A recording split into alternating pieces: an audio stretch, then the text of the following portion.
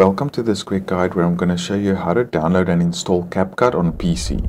To download and install CapCut on PC, open up your web browser and then go to this web page.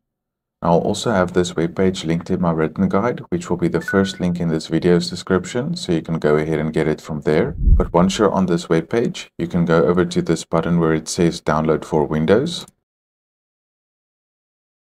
And then you'll be taken to a new web page and the CapCut installer file should start downloading automatically.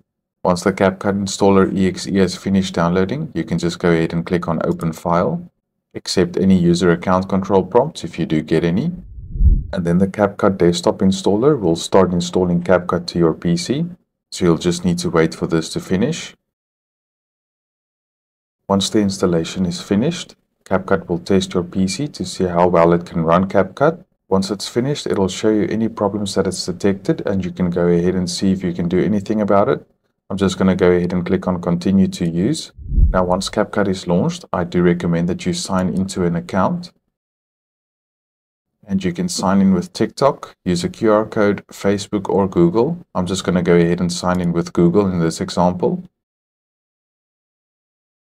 And once you're signed in, you can go ahead and use CapCut. And this is just to avoid any issues with watermarks when you're exporting projects in CapCut. So to start using CapCut, you can go ahead and click on New Project. When you launch CapCut for the first time, it'll show you some tips like where to import materials, how you can drag these materials to the timeline, how you can add effects to the timeline. Here you can play and preview any footage that you have on the timeline.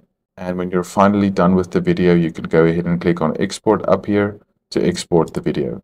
But that's how to download and install CapCut on PC. I do hope this CapCut installation guide helped you out. I'll be making a lot more beginner-friendly guides for CapCut on PC on this channel. So if you're not subscribed yet, go ahead and click on subscribe so you don't miss out on any of those guides and tutorials. Please like the video and I'll see you in the next one.